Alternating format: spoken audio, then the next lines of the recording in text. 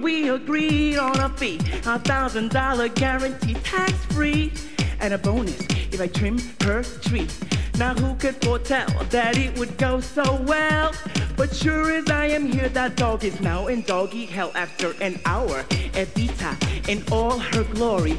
On the window ledge of that 23rd story, like Thelma and Louise's when they got the blues. One dove into the courtyard of the Gracie Mews.